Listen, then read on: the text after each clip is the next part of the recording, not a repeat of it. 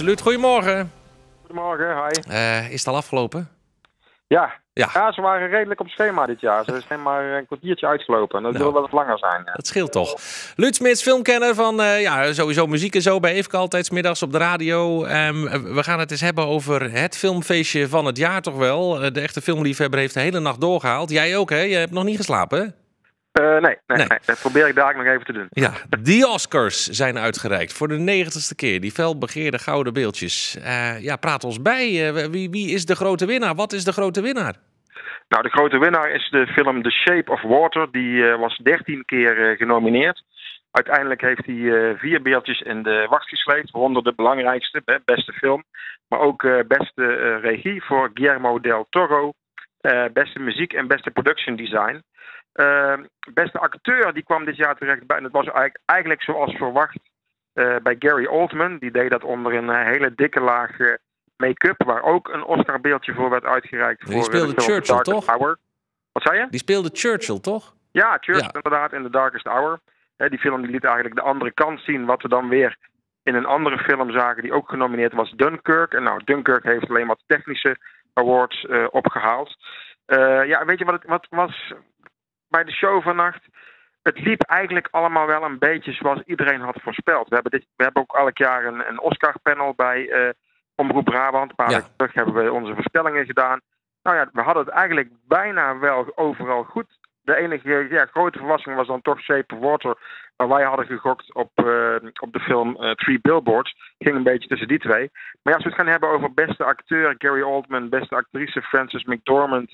Eh, ook de actrice in de bijrol. eh, ja, hadden we, eh, hadden we goed voorspeld. eh, ja, er waren wat de categorieën betreft weinig verrassingen.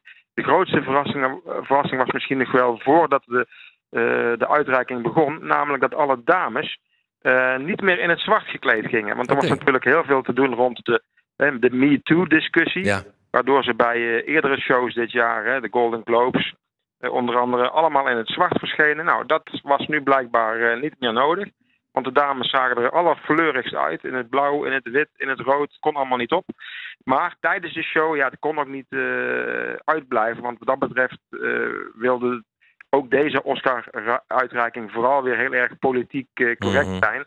Was er natuurlijk plaats voor die discussie met een filmpje, met de mensen die uiteindelijk eh, de movement zijn begonnen. Werd er nog extra aandacht besteed aan de vrouwen in Hollywood, dat die meer kansen moeten krijgen. En het mooiste moment van de avond was misschien dan toch nog wel het moment waarop Frances McDormand haar beeldje kreeg als beste actrice. En zij alle andere vrouwelijke genomineerden in alle eh, categorieën opriep om te gaan staan. Zodat je op dat moment kon zien dat er toch wel een, een groot aantal vrouwen genomineerd waren dit jaar. Maar ja, dat het pas het begin was. En dat het alleen maar meer moet gaan worden in de komende jaren. Zodat eh, waar ze dan eigenlijk naartoe willen. En er is ook eh, Meryl Streep, die ook weer, hè, weer aanwezig was. Het is maar eh, de laatste 21 jaar twee keer voorgekomen dat ze niet genomineerd was voor een Oscar. Dus maar ja, ze heeft niet gewonnen. Maar zij is de ultieme voorvechter van gelijkheid tussen eh, actrices en acteurs. Dus uiteindelijk wil men er naartoe eh, dat vrouwen hetzelfde betaald krijgen als mannen. Maar ja, of dat echt ooit daadwerkelijk gaat gebeuren in Hollywood, eh, vraag ik me heel eh, sterk af. Het is en blijft ja. Hollywood natuurlijk. Ja, kijk, la- laten we, hè, de casting couch hè, die bestaat gewoon in Hollywood. En de vraag is of dat ooit helemaal gaat verdwijnen. Maar goed, er is in ieder geval heel veel aandacht voor. Terecht, denk ik zelf ook wel.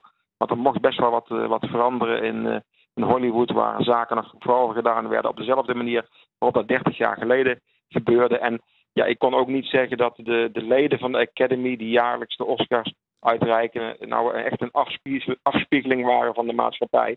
Waardoor er veel meer nieuwe leden zijn gekomen, vooral ook veel jongere leden de afgelopen jaren. En hebben veel mensen die de 80 gepasseerd waren, uiteindelijk gezegd van nou wij staan onze plaats af aan eh, het nieuwe Hollywood. En dat lijkt me ook eh, ja, meer dan terecht. Ik wil, nog, ik wil nog even naar een, het Brabantse tintje, Ja. eh, Luut. Want er was zowaar een klein Brabants linkje. De animatiefilm Loving Vincent over onze eigen Vincent van Gogh.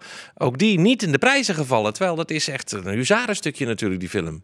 Ja, het is prachtig. Maar ja, laten we wel wezen, het is vooral een film die het in Europa goed heeft gedaan.